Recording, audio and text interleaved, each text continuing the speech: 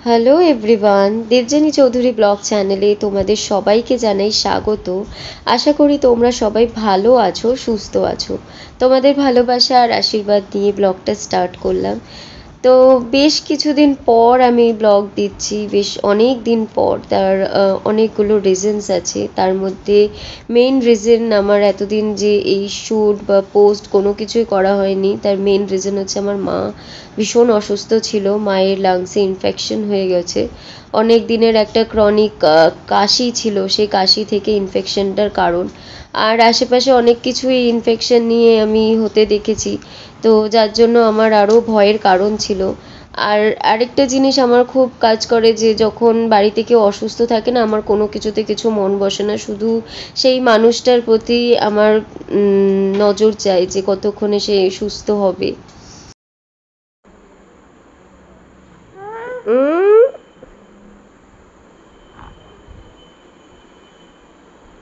হুম। নাও নাও নাও। আরে। তো এই বাড়িতে আসার পর প্রথম কাজ যেগুলো আমার, সেগুলো আমি টুকটাক করে করে নিচ্ছি। আর সত্যি কথা বলতে গেলে এখানে অনেকগুলো কাজ পেন্ডিং পড়ে রয়েছে। যেরকম এই পুরো বাড়িটাকে আমাকে এখন গোছাতে হবে। বাবা মা ওয়েট করছিল আমার জন্য যে আমি কবে আসব, গোছাবো। আর বাবা মাও বাড়ি চলে যাবে, দুর্গাপুর চলে যাবেন ওনারা। তারপর আবার পুজোর সময় আসবেন। অনেকটা মানে এই একটা শিফটিংয়ের তো সত্যি একটা খুব চাপের সময়। মানে সেখানে বাবা মার বয়স হয়েছে, এই যে এতদিন ছিল এটাই অনেক ব্যাপার। এদিকে রান্না দিদি রান্না করছিল আর আমি এইদিকে এসেছিলাম হচ্ছে এটাকে গোছানোর যে কীভাবে কি গোছাবো সেটা ভাবছিলাম। এই ওয়ার্ড্রপটা কিনে রেখে গেছিলাম, কিন্তু সেরকমই পড়ে রয়েছে। তো এই ওয়ার্ড্রপটাকেও গোছাতে হবে। সমস্ত জিনিস হালুমের ঘরে রয়েছে। যে ঘরটা, ওই ঘরটাকে আমাকে ক্লিন করে পুরো একেবারে ঘরটাকে রেডি রাখতে হবে। কারণ ওই ঘরে আমি ক্লাস নেব। আর এদিকে টিভিটা লাগিয়ে যাওয়ার পর আমি টিভিটাকে ভালোভাবে পরিষ্কার করে নিয়েছি। কারণ টিভিটা না একদম পরিষ্কার হয়নি। ওরা যেরম সেরম করে একটা প্যাক করে রেখে দিয়েছিল আমার ওই কমফোর্টারটা দিয়ে। আর কমফোর্টারটা এত নোংরা হয়েছে, ওই কমফোর্টারটা অ্যাকচুয়ালি আমি বিছানায় পাতি। তো যাই হোক, ওই কমফোর্টারটা দেখে আমার আর পাতার ইচ্ছে হলো না, কারণ আমি সমস্ত কিছু কেচে কুচে তারপরেই পাতবো। আর কমফোর্টারটা এত ভারী এবার টিভিটা পরিষ্কার করতে করতে যেটা আমি খেয়াল করলাম সেটা হচ্ছে স্পিকার বক্সটা লাগানো হয়নি ওদেরকে দিয়ে। তো আমি নিজেই নিয়ে আসলাম স্পিকার বক্সটাকে খুলে ওটাকে লাগানোর চেষ্টা করছিলাম। মা বলছিল যে, তুই লাগাতে পারবি না কারেন্ট টারেন্ট খেয়ে যাবি, কোথায় কি হবে ছেড়ে দে। আমি বললাম, না, দাঁড়াও, আমাকে একটু ট্রাই করতে দাও, যদি না পারি তখন দেখা যাবে, আগে তো একটু চেষ্টা করি। অ্যাকচুয়ালি না, আমার না কারোর ওপর ওই ডিপেন্ড করতে না একদম ভালো লাগে না। মানে আমি ছোট থেকে, আপনার হাত জগন্নাথ, নিজের মতন করে করে নিই। তো যাই হোক, সেটাই করছিলাম। তারপরে নিজের মতন করেই টুকটাক করে লাগিয়ে নিলাম। আলটিমেটলি আমি লাগাতে পেরেছিলাম। তো সেটাই বলছিলাম যে, আপনার হাত জগন্নাথ, আমি কখনো কারোর ওপর ডিপেন্ড করে থাকি না। আমি সবসময় ভাবি যে নিজের করাতে একটা আলাদাই স্যাটিসফ্যাকশন রয়েছে যে কাজ নিজে করতে পারব, সেটা অন্যকে দিয়ে করানো যায় না কেন? যেগুলো পারব না, সেগুলো তো স্বাভাবিকভাবে অন্যকে দিয়ে করাতে হবেই। কিন্তু যেগুলো পারার মতন একটু চেষ্টা করে দেখলে কি হয়? তো যাই হোক আলটিমেটলি আমি লাগাতে পারলাম। আর হলো সেটা, আর এই হচ্ছে সেই কমফোর্টারটা যেটা আমাকে কাচতে হবে, আর এই হচ্ছে অবস্থা। বিছানাটাকেও গোছাতে হবে আর তারপরে যেটা করব, গুন্ডার জন্য রান্না। গুন্ডাকে খাইয়ে দাইয়ে নিয়ে ওকে ঘুম পাড়িয়ে দিয়েছিলাম আমি।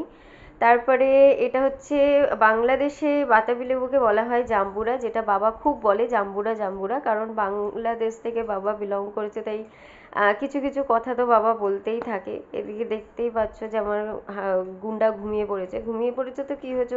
উঠেও গেছিল। আমি খেতে এসেছিলাম, তার মাঝখানেও আবার উঠে গেছে। ওই একটু ওকে ছেড়ে এসেছি। বুঝতে পেরেছে, উঠে গেছে। মাটন আমি খাই না, কারণ আমার খুব রিসেন্টলি গল ব্লাডার অপারেশন হয়েছে বলে আমার এইসব একেবারে রেস্ট্রিক্টেড খাওয়ার জন্য। তো ওইদিকে আমি গুন্ডাকে চালিয়ে দিয়েছিলাম। টিভি ও বসে বসে দেখছিল। ওই দেখো, এখনও চোখ নাড়িয়ে যাচ্ছে যাতে ও ঘুম থেকে উঠে এসছে। তো যাই হোক, তারপর খাওয়া দাওয়ার পরে ওকে আমি নিয়ে চলে এসেছিলাম। আর আমি একটু গড়াগড়ি করছিলাম। কিন্তু গড়াগড়ি করলেও ঘুম হয়নি। নিচে গুন্ডা খেলা খেলছিল, এদিক ওদিক যাওয়া আসছিল মানে যাওয়া আসা করছিল, ওকে আমাকে নজর রাখতে হচ্ছিল। ইন বিটুইন বিকেল হয়ে গেছে বরমাসাই অফিস থেকে চলে এসছে, আর আমি এই লাইটগুলো জ্বালালাম। তো ভাবলাম যে বেশি লাইট হয়ে যাচ্ছে এটা বন্ধ করে দিয়ে স্পট লাইটটা জ্বালালাম, আর এগুলোকে বন্ধ করে দিয়েছিলাম। তারপরে চা টা খেয়ে সবাই মিলে এরপরে আমি আর বরমশাই বেরোলাম একটু স্পেন্সার্সে যেখান থেকে এই কার্টেনগুলো কিনেছিলাম। বাট এই কার্টেনগুলো না ঠিক হয়নি। মানে এক একটা জায়গায় এক এক রকম সাইজ হয়ে গেছে। উইন্ডোর যে সাইজটা দরকার ছিল সেটা ছোট হয়ে গেছে। তারপরে যে লং উইন্ডোগুলো যেগুলো রয়েছে সেগুলো ছোট হয়ে গেছে। মানে ছোট, বড় এরকম করে হয়ে গেছে। তো ওদেরকে আমি বলেই রেখেছিলাম যে, যদি এরকম কোনো ইস্যুস থাকে তাহলে কিন্তু আমি চেঞ্জ করব। তো ওরা বলেছিল হ্যাঁ কোনো ব্যাপার নয়, আপনি চেঞ্জ করে নিতে পারবেন। তো সেটাই আমি এখন চেঞ্জ করতে যাচ্ছি। তো আলটিমেটলি যেরকম এগুলো আমি সব ঘরের কালার অনুযায়ী এক একটা নিয়েছি, যেই ঘরের যে কালার সেই কালার অনুযায়ী নিয়েছি। অ্যাকচুয়ালি না, আমি এখান থেকে কেনার খুব একটা পক্ষপাতিত্ব ছিলাম না। আমি ফ্লিপকার্টে দেখেছিলাম খুব ভালো ভালো কার্টেন্স ছিল, সেগুলো আমার ইচ্ছে ছিল। বাট আমার বড়মশাইয়ের সেগুলোর মানে কবে আসবে কি না তর ছিল না। তাই তাই ও বলছিল যে ওইখান থেকেই কিনে নিই আর এখানে সত্যি কথা বলতে গেলে প্রচুর দাম পড়ে গেছিল। আর তারপরে এই তিনটে জিনিস বেড কভার নিল, সেগুলোরও প্রচুর দাম পড়ে গেছে। আর আসার পথে এই রেশমি কাবাব অ্যান্ড চিকেন এই কি একটা ছিল, তো সেটা খেয়ে আলটিমেটলি কোনো ফ্রুটফুল রেজাল্ট আমি পাইনি। খুব বাজে খেতে ছিল। হোয়াট এভার এই হচ্ছে সেই তিনটে ইয়ে বেড কভার আর ওটা বাবাদের ঘরে লাগিয়েছি। আর এটা আমাদের ঘরে লাগিয়েছি, আমাদের ঘরের ওয়াল কালার অনুযায়ী যেরকম ছিল সেরকমভাবে আমি লাগিয়েছি। তো এই সমস্ত কিছু লাগিয়ে ঠেকিয়ে দেওয়ার পর, আর হালুমের ঘরেরটা আমি এখনও লাগাইনি, ওর ঘরেরটা পরে লাগাবো, কারণ ওর ঘরে সমস্ত জিনিসপত্র রয়েছে। তো ওইগুলো সরে গেলে তারপরে লাগাবো। এদিকে অ্যাবি আমার কাছে বলতে এসছে যে ওকে নিচে নিয়ে যেতে হবে। তো যাই হোক, ওকে আমি এখন নিচে নিয়ে যাব আর এই হচ্ছে সেই সোফা যেগুলোকে কালকে ওরা ইনস্টল করতে আসবে আর এই লং উইন্ডোটার জন্য এই কার্টেনগুলো লাগিয়েছি। তো যাই হোক, আমি এখন অ্যাবিকে নিয়ে যাব নিচে। তো এটা হচ্ছে পেট এরিয়া এই সোসাইটির যাদের পোষ্য রয়েছে তারা এখানে এসে ওদেরকে পটি, হিসু এই সমস্ত কিছু করায়। তারপরে যেরকম ঘোরাঘুরির কিন্তু মানে এই পার্টিকুলার এই জায়গাটা না খুব দরকার। এটা আমি মনে করি প্রত্যেকটা সোসাইটিতে হওয়া উচিত। কারণ পেটস আমাদের বাড়িতে সবার বাড়িতেই আছে। তো ওদেরও তো একটা জায়গা দরকার। এবার যেখানে সেখানে করলে অনেকেরই একটু মতবিরোধ থাকে যে এখানে কেন করছে, সেখানে কেন করছে। তো আলটিমেটলি এই জিনিসটা আমার খুব ভালো লেগেছে এই সোসাইটির তো যাই হোক, এটা নিয়ে পরে কথা বলা যাবে। তো সে সমস্ত কিছু করার পর তার বক্তব্য হচ্ছে আমাকে এবার একটু ঘোরাতে হবে। তো তাকে আমি ভ্রমণ করিয়ে তারপরে বাড়িতে এসে দেখছি এই ভদ্রলোক একটু খেলবেন, মুড উঠেছেন তার। তো যাই হোক, দুজনে মিলে ও, নিয়ে খেলছিলাম। আমি আর বরমশাই মিলে। খেলা টেলার পরে ওর আরও বক্তব্য যে আরও ওর সাথে খেলতে হবে। তো অনেকক্ষণ খেলছিলাম আর যেটা হচ্ছিল আমার মাথা যন্ত্রণা করছিল প্রচণ্ড।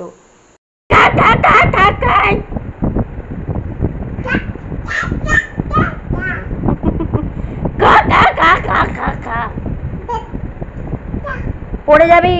হ্যালুম পড়ে যাবি?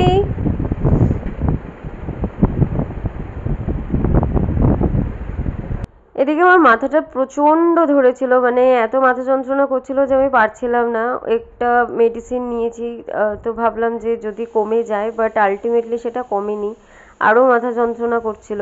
তারপরে আবার আরেকটা নিলাম একটু টাইম গ্যাপ রেখেই নিয়েছিলাম। একটু মাথা যন্ত্রণা কমার পর আমি ওকে ডিনারটা দিয়ে দিলাম, নিজেও ডিনার করে নিলাম। ও ওপরে বসেই খাচ্ছিল আর আমি নিচে বসে খেলাম। আর একটু ঝোল আর একটু আলু এই সমস্ত কিছু নিয়ে খাওয়া দাওয়া করে তারপরে আজকের মতন আমাদের দিনটা এখানেই শেষ হয়ে গেল। আর সত্যি কথা বলতে এখন দিনগুলো এরকমভাবেই কাটবে। আর ওইদিকেও একটা টেনশন আছে, মা কতক্ষণে কি সুস্থ হবে, কি হবে?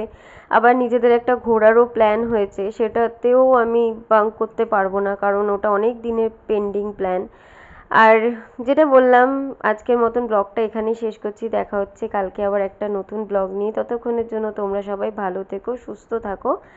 আর যদি আমার চ্যানেলটা ভালো লেগে থাকে, তাহলে অতি অবশ্যই সাবস্ক্রাইব করে পাশে থেকো। ততক্ষণের জন্য টাটা, গুড নাইট, বাই।